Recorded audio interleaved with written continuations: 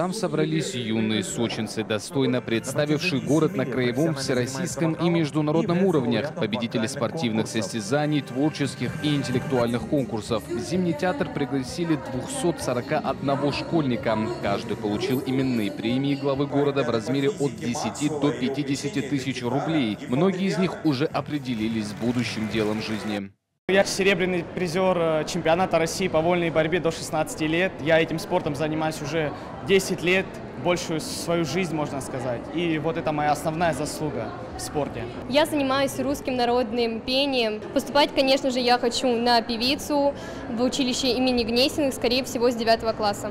На празднике также чествовали педагогов, которые подготовили номинантов к Олимпиадам на региональном и всероссийском уровнях.